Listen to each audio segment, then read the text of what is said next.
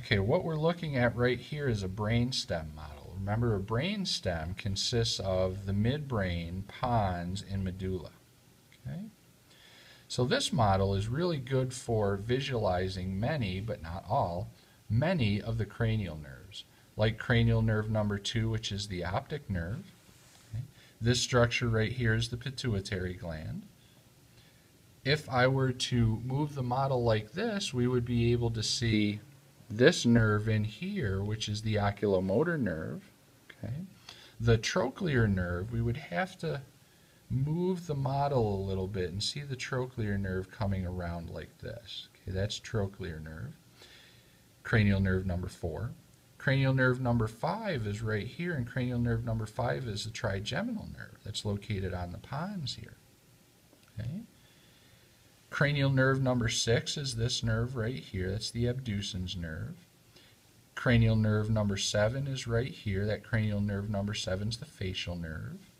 Cranial nerve number 8 is right here. That's the vestibulocochlear nerve. Cranial nerve 9 is right here. That's glossopharyngeal nerve. Cranial nerve 10 is right here. That's the vagus nerve. Cranial nerve 11 is right here, and that's the spinal accessory nerve. Okay.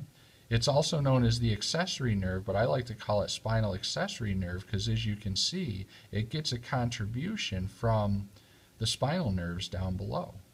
Okay? So it's spinal accessory nerve in my book. And then uh, cranial nerve number 12 right here, that's the hypoglossal nerve. On the back of this model right here, we can see the posterior portion of the midbrain.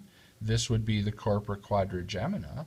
These would be the superior colliculi up here, and these would be the inferior colliculi. Okay?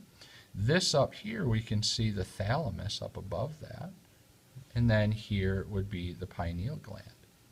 Okay? Some choroid plexus would be right here as well.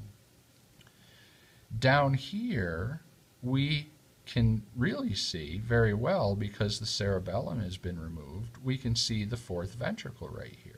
If I were to put my pencil up into this hole here, I would be putting my pencil up into the cerebral aqueduct or mesencephalic aqueduct which would bring cerebrospinal fluid from the third ventricle down here to the fourth ventricle.